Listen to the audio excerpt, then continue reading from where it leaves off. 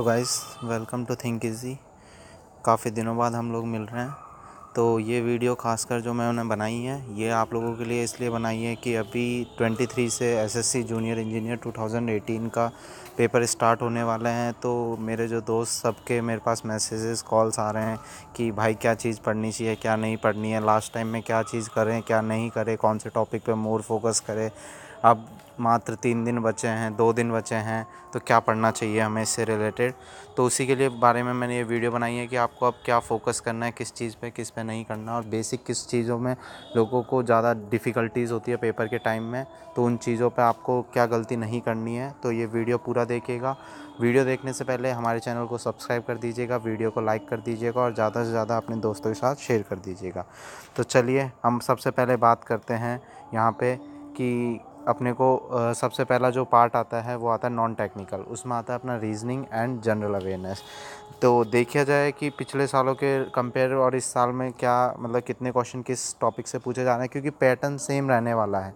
Pattern same रहने वाला है, बस कुछ क्वेश्चन जो कुछ टॉपिक में से कम ज़्यादा हो सकते हैं। तो उसके रिलेटेड आप क्या है जो प्रीवियस ईयर के पेपर है वो मोस्ट इंपॉर्टेंट है। सबसे पहली चीज़ आप कुछ करिए ना करिए एसएससी के 2013 से लेकर 2017 तक के जितने भी पेपर है, सबको लगा डालिए एक एक क्वेश्चन को।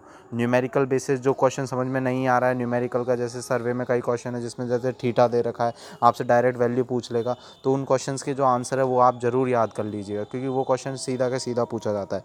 बात की जाए non technical general intelligence and reasoning section का तो पैंतीस से चालीस क्वेश्चन बहुत ईजी आते हैं।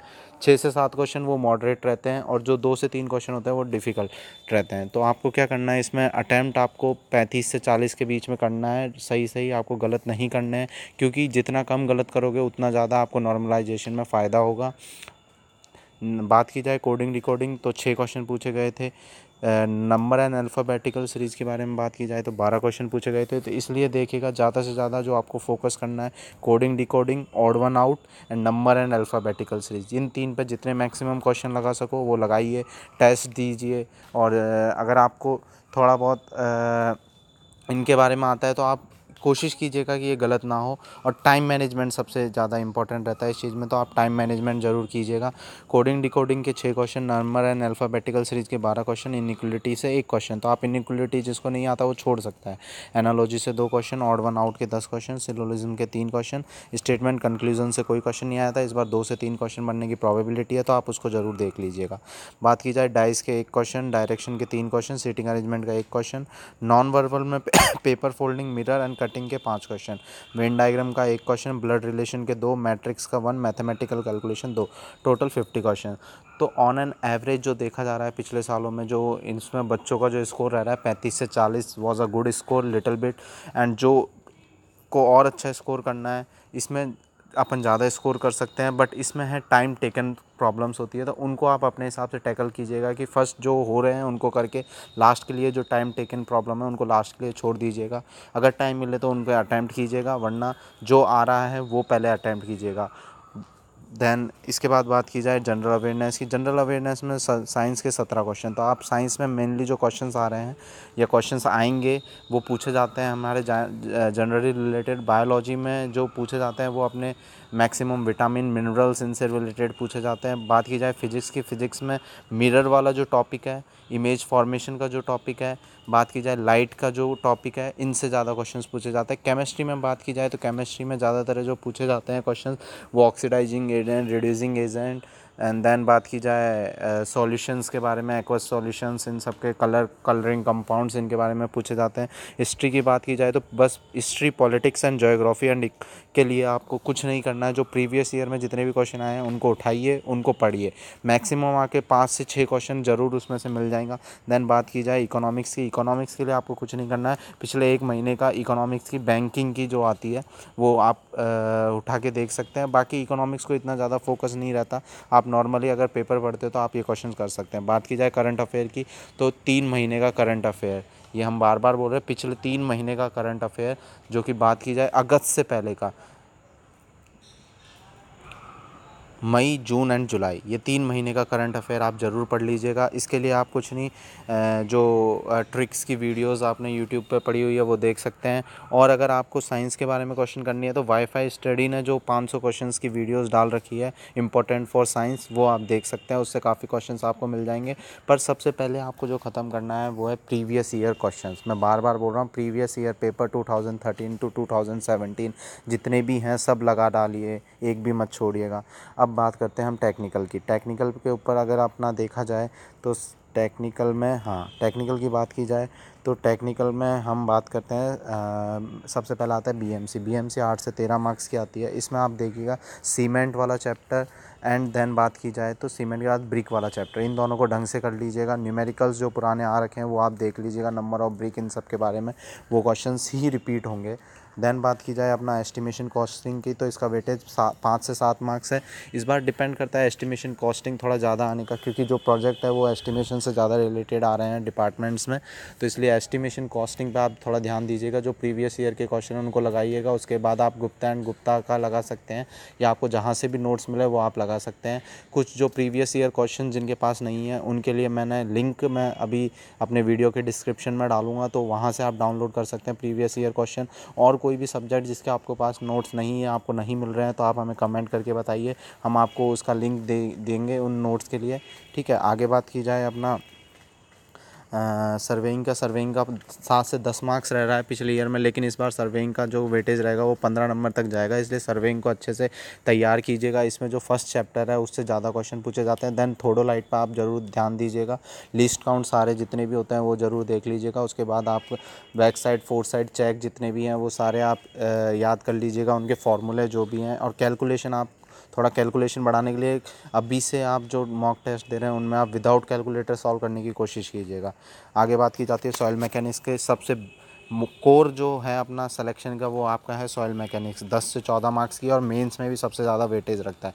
सॉइल के जो फ़र्स्ट चैप्टर के जितने भी है dry unit weight bulk unit weight saturation weight और S e to W G porosity वल और अपना जो भी वॉइड रेशो ये सब सारे फार्मूले याद कर लीजिएगा। दैन बात की जाए कॉम्पैक्शन वाला चैप्टर भी इंपॉर्टेंट है टाइम फैक्टर ये सब निकालना वो भी बहुत ज़्यादा इंपॉर्टेंट है।